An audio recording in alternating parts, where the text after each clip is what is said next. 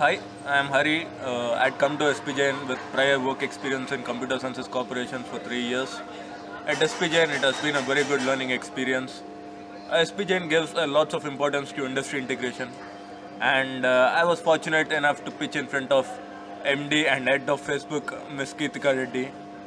Uh, it was a very good opportunity. In fact, like uh, I had I had pitched about social media marketing for an NGO. It itself is an unique opportunity, where uh, where I, I after the after the after the session I had got a very good feedback that that was even more encouraging for me for further getting such a feedback from none other than head of Facebook India. So it was it was a very good experience and uh, at SPJIMR we have this unique uh, program called AdMap where each member has to be present in a committee. As a part of that, I was a member of uh, IM Information Management Conclave.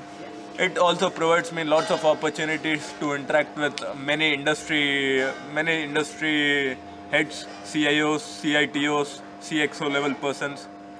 It was, it is a very good learning experience in that and uh, as a part of that I had interacted with uh, KPMG executive where we had conducted a case study competition where, where we conducted a case study workshop which was widely appreciated by many and we have our uh, information management conclave uh, on uh, this January. So by organizing that I am learning a lot. Even though I had work experience in technical domain this organizing things and uh, interacting with various heads with with the peers it gives me an all-round experience